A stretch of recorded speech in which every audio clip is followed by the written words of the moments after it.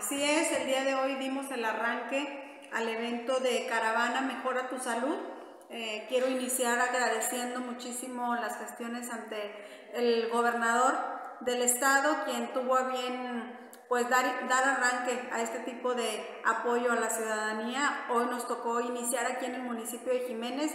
Es una caravana integral, trae servicios, ahora sí que para toda la salud.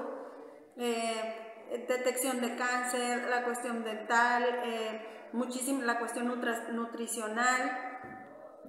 ahorita te puedo decir que llevamos ya cerca de 100 personas atendidas eh, a esta hora. E invitarlos el día de mañana estará la misma caravana frente al centro comunitario en San Carlos.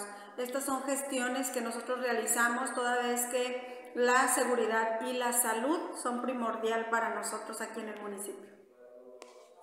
En San Carlos se espera que pues tenga un poquito más de movimiento, alcaldesa. Así es, pues bueno, sabemos que en la población de San Carlos es donde está la mayoría de nuestros habitantes y donde pues se conjunta con las eh, comunidades aledañas, entonces las invitamos a todos a participar, si hay algo en lo que nosotros podamos apoyar en cuanto al traslado de alguna persona que quiera asistir y no tenga los medios, con toda confianza en las redes sociales, puede dejarnos un mensajito y con gusto vamos y lo trasladamos. La intención es de que todos los ciudadanos puedan, eh, pues ahora sí, ser beneficiarios de este tipo de apoyos que llega hasta nuestro municipio, pues gracias a la excelente visión de nuestro gobernador.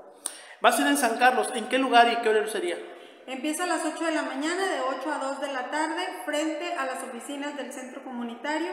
Se va a cerrar esa vialidad, se van a instalar toda, toda la caravana de médicos que traemos.